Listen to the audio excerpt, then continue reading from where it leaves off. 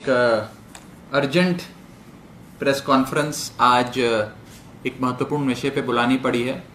जैसा कि आप जानते हैं कि उपराज्यपाल के माध्यम से केंद्र सरकार ने दिल्ली सरकार के आदेश, जिसमें दिल्ली में होटल और साप्ताहिक बाज़ार खोलने की अनुमति दी गई थी, उस आदेश को खारिज कर दिया गया है। उस संदर्भ में आज की प्रेस कॉन्फ्रेंस बुलाई गई है। सबसे पहले तो मैं साफ़ तौर पे ये बात कहना चाहूँगा कि ऐसा प्रतीत होता है कि केंद्र सरकार को, दिल्ली वालों को और दिल्ली सरकार को दुख देकर, केंद्र सरकार को, दिल्ली वालों और दिल्ली सरकार को दुख देकर, उनके दुख और पीड़ा को देख आनंद का अनुभव होता है।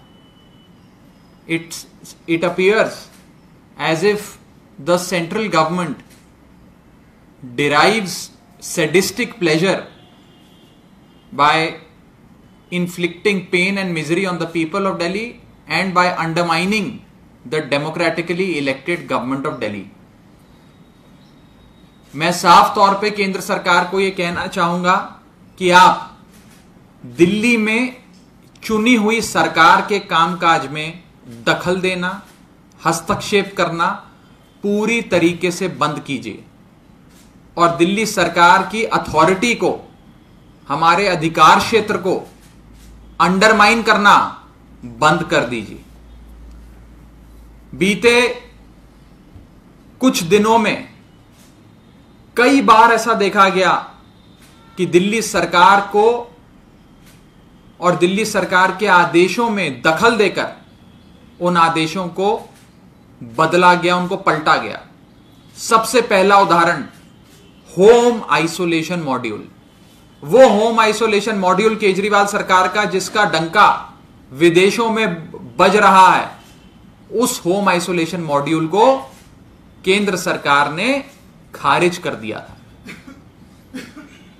दिल्ली सरकार ने और दिल्ली वालों ने विरोध किया तो केंद्र सरकार को वापस निर्णय की पुनर्स्थापना करनी पड़ी। लेकिन उन्होंने हमारे होम आइसोलेशन के आदेश को खारिज कर दिया था। दूसरा उदाहरण, हाल ही में दिल्ली दंगों के मामले में, न्यायपालिका में चल रहे मामले में वकीलों की नियुक्ति को लेकर जो वकील चुनी हुई दिल्ली सरकार, केजरीवाल सरकार ने चुने और कोर्ट में पेश होने का जिनको अधिकार दिया, उन वकीलों को बदल दिया गया। उस वकीले के पैनल को खारिज कर दिया केंद्र सरकार ने। और तीसरा और सबसे चौंका देने वाला दुखद निर्णय आज आया है, जिस निर्णय में चुनी हुई दिल्ली सरकार के आदेश, जिसमें होटल और साप्ताहिक बाज़ार, यानी कि होटल्स और वीकली मार्केट्स को खोलने की अनुमति केजरीवाल सरकार ने दी उस अनुमति को केंद्र सरकार ने खारिज कर दिया। ये तीन बड़े उदाहरण मैं आपको दे रहा हूँ, जो बीते कुछ दिनों में आपने देखा कि कैसे चुनी हुई सरकार के हस्तक्षेप में और दिल्ली वालों को पीड़ा देकर, दुख देकर केंद्र सरकार आनंद का अनुभव कर रही है। Is deriving sadistic pleasure the central government is deriving sadistic pleasure by inflicting misery on the people of Delhi and by undermining the democratically elected government of Delhi. मैं तीन महत्वपूर्ण चीज़ें आपके सामने रखना चाहूँगा, जिससे यह साफ़ हो जाएगा कि केंद्र सरकार किस ढंग से एक सरकार को कुचलने की कोशिश कर रही है, सरकार के कामकाज में हस्तक्षेप कर रही है, और दिल्ली वालों से कोई खासी बदला लेने की कोशिश कर रही है तीन बड़े उदाहरण होटल और वीकली बाज़ार के निर्देश से संबंधित तीन बड़े उदाहरण। पहला उदाहरण 8 जून 2020 को केंद्र सरकार ने अपना ऑर्डर जारी किया पूरे देश भर के लिए और उस ऑर्डर में कहा कि पूरे देश भर में अब होटल और साप्ताहिक बाज़ार खुल सकते हैं 8 जून 2020 को। ये तो केंद्र सरकार ने खुद कहा और पूरे देश भर में 8 जून के बाद होटल और साप्ताहिक बाज़ार खुल गए। लेकिन आज जब हम दिल्ली में खोलने जा रहे हैं, क्योंकि दिल्ली में हमने उस समय नहीं खोले थे, उस समय हालात थोड़े गंभीर थे। आज जब हम दिल्ली में खोलने जा रहे हैं तो केंद्र सरकार को अच्छा नहीं लग रहा। दूसरा बड़ा उदाहरण, भाजपा शासित अपने राज्य, जहाँ कोरोना महामारी इतनी फैल गई है कि लोग अस्पताल के बाहर दम तोड़ रहे हैं, उन्हें बेड नहीं मिल रहा, वेंटिलेटर नहीं मिल रहा आईसीयू नहीं मिल रहा home isolation oximeter oxygen cylinder नाम की चिड़िया तक का तक लोगों को वहाँ पर नहीं पता। बुरे हाल हैं। राज्य बद से बदतर हो रहे हैं, जैसे कि उत्तर प्रदेश, जैसे कि गुजरात, जहाँ मृत्यु दर आसमान छू रही है, जहाँ महामारी से उत्तर प्रदेश और गुजरात की जनता त्राहीमाम त्राहीमाम कर रही है। उन दोनों राज्यों में तो केंद्र सरकार ने सारे होटल खोल दिए, सारे साप्ताहिक बाज़ार वीकली मार्केट शुरू कर दिए, लेकिन दिल्ली में नहीं करने देंगे। यह था मेरा दूसरा उदाहरण, दूसरा बिंदु और तीसरा अहम बिंदु।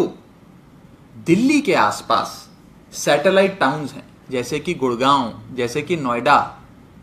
गुड़गांव और नोएडा में तो केंद्र सरकार ने होटल खोल दिए, साप्ताहिक बाज़ार खोल दिए लेकिन आज केंद्र सरकार कह रही है कि दिल्ली में आप होटल नहीं खोलेंगे, दिल्ली में आप साप्ताहिक बाज़ार नहीं खोलेंगे।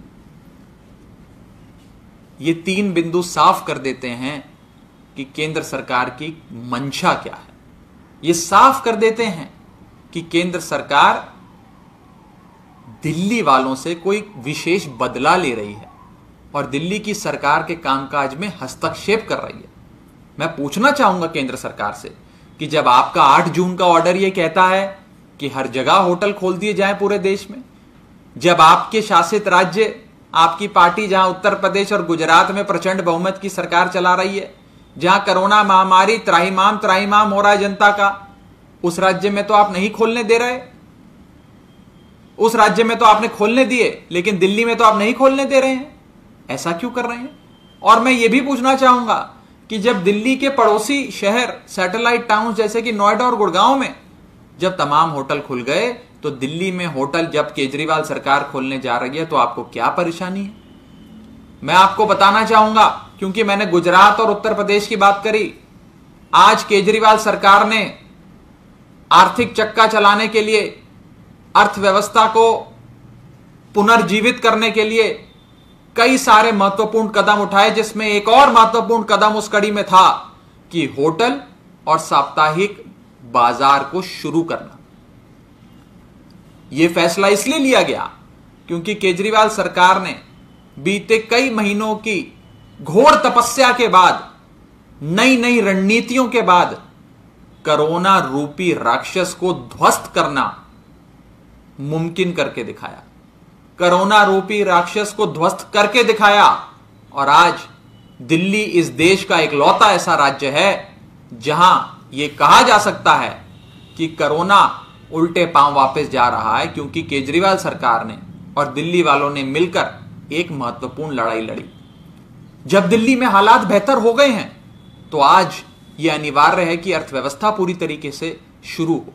होटल खुलें, साप्ताहिक मार्केट्स खुलें, लेकिन आज जिन राज्यों में त्राहीमाम त्राहीमाम है, जिन राज्यों में कोरोना से लोग मर रहे हैं, उन राज्यों में तो आपने होटल खोल दिए, साप्ताहिक बाज़ार खोल दिए, लेकिन दिल्ली में ना आप साप्ताहिक बाज़ार खोल रहे हैं, ना आप होटल खोलने दे रहे हैं। और सरकार का फैसला आपने खारिज कर दिया, दिल्ली सरकार का फैसला। और मैं एक और चीज़ कहना चाहूँगा, अर्थव्यवस्था को संजीवनी बूटी देने के लिए, उसको फिर से मूर्छित अर्थव्यवस्था को जीवित करने के लिए, उसमें प्राण डालने के लिए, एक महत्वपूर्ण फैसला केजरीवाल सरकार ने लिया कि होटल खोलेंगे, साप्ताहिक मार्केट्स खोलेंगे। मैं आपको बताना चाहूँगा, इन दोनों इंडस्ट्री से, होटल इंडस्ट्री से और वीकली बाज़ार इंडस्ट्री से, कुल मिलाकर 15 से 20 लाख लोगों का प्रत्यक्ष या अप्रत्यक्ष रूप से रोज़गार जुड़ा है। उनके घर का चूल्हा होटल इंडस्ट्री से या फिर वीकली मार्केट्स के व्यापार से चलता है। आज आपने उन 20 लाख लोगों के पेट पे लात मारने का काम किया है, जिसको केजरीवाल सरकार, जिनके घर का चूल्हा जलवाना चाहती थी। मैं अंत में केंद्र सरकार को यह हिदायत देना चाहता हूँ कि दिल्ली वाले और दिल्ली सरकार के दुख में सुख लेने वाली केंद्र सरकार हमारे सरकार को अंडरमाइन कर कर सेडिस्टिक प्लेजर लेने वाली केंद्र सरकार इस फैसले को, होटल और वीकली बाज़ार को नहीं खोलने वाले अपने फैसले को वापस ले और दिल्ली वालों के हक में केजरीवाल सरकार को होटल और वीकली बाज़ार खोलने की अनुमति दी जाए। इस संदर्भ में किसी साथी का कोई सवाल है तो आप पूछ सकते हैं। राघव जी महामारी लगातार चल रही थी। उस समय जब भी अरविंद केजरीवाल ने प्रेस कॉन्फ्रेंस की, साफ़ कहा कि केंद्र से पर्याप्त सहयोग मिल रहा है। तो इधर आज आपने तीन उदाहरण गिनाए। तो ऐसा अचानक से क्या हो गया कि पहले सपोर्ट कर रहे थे और नहीं कर रहे थे? इसके पीछे मोटिव क्या हो? ये तो वही बताएँगे। ये तो केंद्र सरकार ही बताएगी कि क्यों उन्होंने इस प्रकार से एक लोकतांत्रिक ढंग से चुनी हुई प्रचंड बहुमत की सरकार को। या तो नीचा दिखाने के लिए, उसकी अधिकार क्षेत्र, उसकी अथॉरिटी को अंडरमाइन करने के लिए, उसमें हस्तक्षेप करना शुरू कर दिया है। और तीन बड़े उदाहरण मैंने आपको दिए। होम आइसोलेशन को खारिज करना, वकीलों की नियुक्ति को खारिज करना, और अब होटल और वीकली मार्केट्स खोलने वाले उस आदेश को खारिज करना। ये तीनों चीज़ें दिखाता है कि शायद केंद्र सरकार को दुख में सुख लेने की आदत है। दूसरे के दुख से जो व्यक्ति सुख लेता है, जिसे अंग्रेज़ी में सेडिस्टिक प्लेजर कहते हैं, शायद उन्हें हमारे दुख में, दिल्ली वालों को दुख में देखकर आनंद का अनुभव होता है। यही नज़र आता है मुझे तो। यही एक लौता कारण है शायद, जिस वजह से केंद्र सरकार इस प्रकार के अटपटे फैसले ले रही है। अरे भाई, जब आपने नोएडा में खोल दिए होटल, गुड़गांव में खोल दिए होटल, गुजरात और उत्तर प्रदेश, जो ऐसे दो राज्य हैं कर्नाटक भी, कर्नाटक जहाँ पर बुरी हालत है, रोज अखबारों में न्यूज़ चैनल पे चल रहा है, लाखों लोग इस कोरोना महामारी से पूरी बुरी तरीके से जूझ रहे हैं। लोगों की जाने जा रही हैं, अस्पताल में बेड नहीं है, वेंटिलेटर नहीं है, आईसीयू नहीं है, त्राहीमाम त्राहीमाम हो रहा है। उन राज्यों में खोल दिए होटल, उन राज्यों में मार्केट्स खोल दी, और जहाँ हालात सामान्य हो गए, जहाँ केजरीवाल सरकार के रामबाण ने कोरोना रूपी राक्षस को ध्वस्त कर दिया, उस राज्य में नहीं खोलने दे रहे। इसका जवाब तो वही बताएँगे। जो दलील दी जा रही है एल ऑफ़िस से, वो ये है कि situation of corona is still fragile क्या कोई फॉर्मल कम्युनिकेशन गवर्नमेंट के साथ हो रहा है इसके बारे में? अगर फ्रेजाइल है फ्रेजाइल का मतलब क्या होता है? फ्रेजाइल का मतलब होता है कि स्थिति सुधर गई है, लेकिन अब पता नहीं कि क्या ये स्थिति वापस खराब हो सकती है कि नहीं हो सकती। उस राज्य में जहाँ स्थिति सुधर गई है, लेकिन आपको फ्रेजाइल लग रहा है, आप नहीं खोल रहे। लेकिन उन राज्यों में जहाँ स्थिति फ्रेजाइल नहीं, बहुत खराब है बदतर से बदतर स्थिति है। लोग मर रहे हैं। जहाँ रिकवरी रेट बहुत का खराब है। इन्फेक्शन रेट बढ़ता जा रहा है। मृत्यु दर बढ़ती जा रही है। उन राज्यों में खोल दिया। अब इसकी, इसका क्या तर्क है? इसका क्या मतलब है? ये तो समझ के परे है। ये तो लॉजिक के परे है। ये तो यही दिखाता है कि ये सरकार हमारे दुख में आनंद अनुभव करने के लिए बैठी है। कोई और सवाल किसी का? शुक्रिया।